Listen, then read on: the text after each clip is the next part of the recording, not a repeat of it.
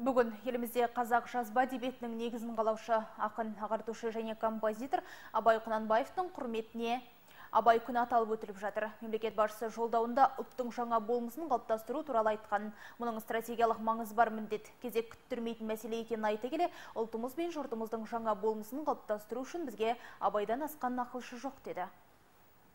Билдан бастап 10 тамыз Абай күні деп бекітіліп мерекелік қатарына қосылды. Ақынның еңбектері 10 тілге аударылып, әлемнің беделді кітапханаларына жіберілді. Шетелдегі елшіліктеріміздің жанынан Абай орталықтары ашылды. Бірақ бұл тек алғашқы қадам ғана. Келешекте мүмкіндікке қарай Абай институттарын ашамыз деп ойлаймын. Гумилев атындағы Еуразия ұлттық университетінде Абай академиясы құрылды. Бұдан былай академия ақын шығармашылығын жүйелі зерттеумен айналысады. Абай телеарнасы өз жұмыс жұмысын бастады. Жоғары оқу орындарында абайтану курсын оқыту қолға алынды. Қазақ қоғамында өзіндік орны бар. Семей қаласы тарихи орталық ретінде белгіленді.